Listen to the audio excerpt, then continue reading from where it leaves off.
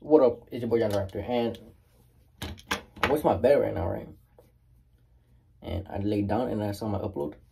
And I saw my schedule. I'm like, oh, my leg itchy, boy. And then I'm like, hold up, what day did I miss? Thursday or Friday? And I uploaded a video earlier for Friday, but technically I didn't miss Friday. I missed Thursday. So I uploaded. So now I got three videos uploaded. Um, they're gonna upload on schedule.